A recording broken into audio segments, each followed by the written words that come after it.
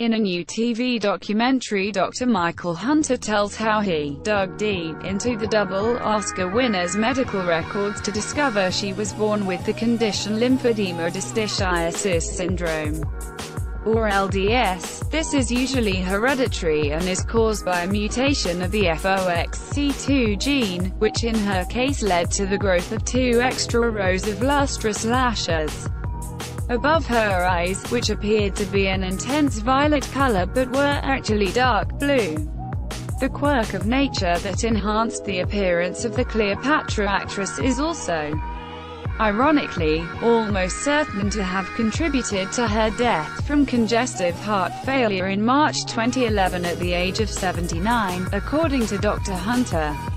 He revealed his findings in a new episode of the series Autopsy, the last hours of which has just aired in the US. In it, he unraveled the long and complicated medical history of the screen.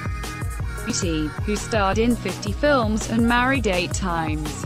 Dr. Hunter said, this condition gave her the extra eyelashes that helped define her beauty, but he added, LDS can also affect the normal function of the lymphatic system, which is the network of tissues and organs that help rid the body of toxins and assist in fighting infections. This could explain why Taylor was prone to pneumonia and there is also evidence that LDS can cause heart defects, explaining a faulty mitral valve for which she underwent an operation.